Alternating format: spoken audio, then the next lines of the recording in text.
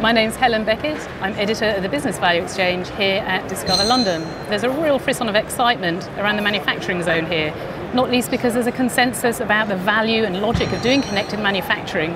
Nowadays, the questions are more about how do players go about that? And here to discuss all that is Martin Rainer of Enterprise Services. Hi, Martin. Hello, Helen. Good to have you here and to talk through this huge challenge that all the manufacturing players now face. They all, as we've said, have a huge amount of legacy equipment, unique configurations. They've been doing this job for years and years, and now there's a digital opportunity. They don't know where to start. So when we started to become more industry focused and relevant uh, for the market and for our customers two years ago, we were starting to look at market drivers. Market drivers such as complexity in supply chains and value chains that are really turning into very fluid value networks, or the benefit, the value, and the risk in, in data.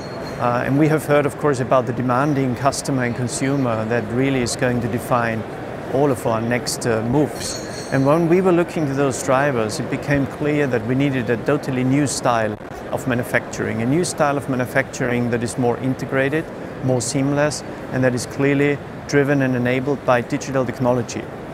So what we did is um, we created a, an ecosystem that is totally integrated, where all components such as plants, products, people, yes, systems and processes, this integration, which we call connected manufacturing, uh, is achieved by a convergence of technologies. A convergence of technologies such as IT and OT, operational technology, but also adding, of course, communication technology and digital technology. New data sources are available with enhanced sensor technology and also more affordable technology.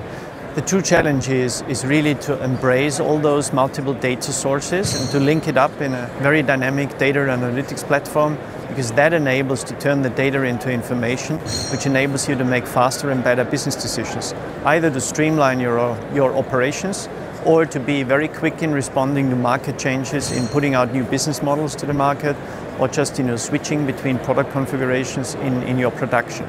So Martin, how should manufacturers describe and approach their digital transformation? What suggestions do you have for them? So first I think manufacturers, they have a very good starting position because they have lots of experience and proper skill in integrating and managing technologies, also technologies across different ages, going from legacy into state-of-the-art technology.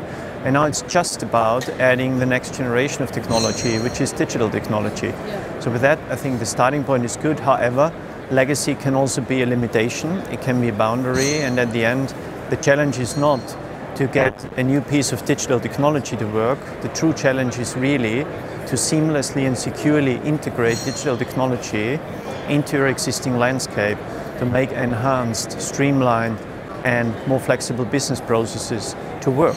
So this is the story I'm hearing, yes, seamless end-to-end connectivity, not getting too hung up on the technology itself, but making it in integrated, supporting new business processes. What can manufacturers teach other industries about multimodal IT? Because that does sound like you're having to integrate perhaps these new digital technologies with old ways of doing things.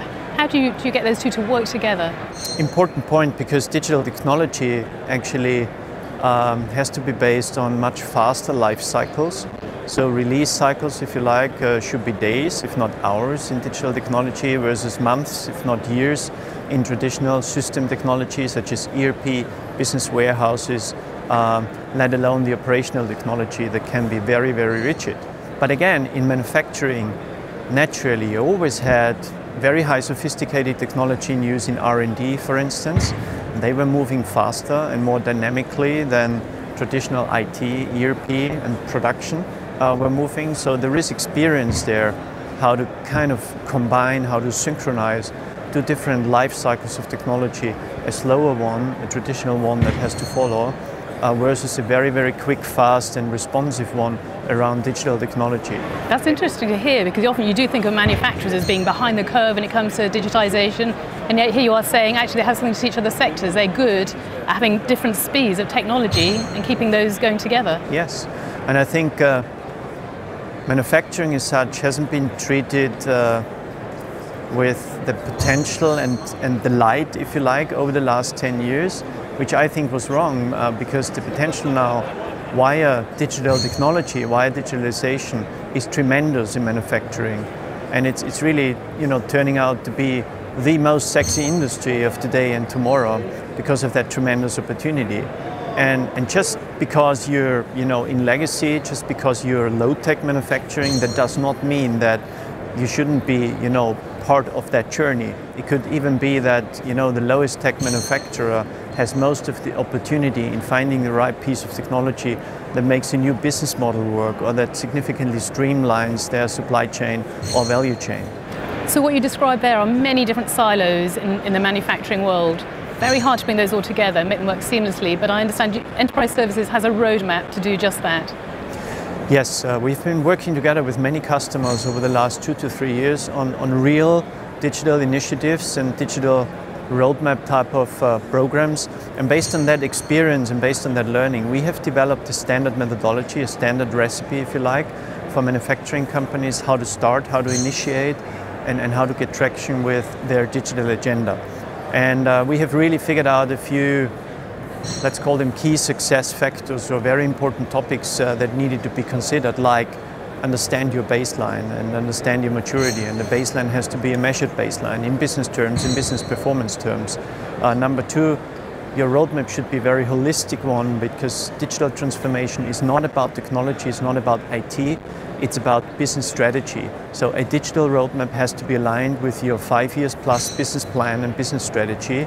And, and with that, uh, it's of course broad and it, it has to be very comprehensive, covering all aspects of your business.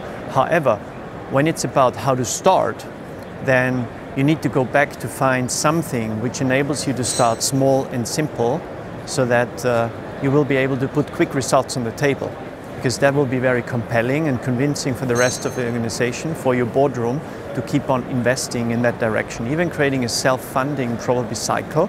Um, when your first initiative is, for instance, producing growth revenue or is driving out cost or is improving quality in your production, uh, that's very compelling. And then, you know, the money will fall in place for further initiatives. So number three, stakeholder management. Um, there isn't a single function, um, a single corporate function that can solely own and run a digital agenda or roadmap. So it has to be an integration of corporate stakeholders uh, across all critical functions, such as IT, of course, but also operational technology and production, marketing, supply chain. And of course, also the boardroom has to be in strong sponsorship and support. What is Enterprise Services' key differentiator? So when you think about our history, where we have been implementing, designing, transforming, but also operating, you know, decades of generations of technology for our customers, especially in manufacturing with our great heritage, uh, going back with Hewlett-Packard, but also going back with EDS uh, on the other side of the house.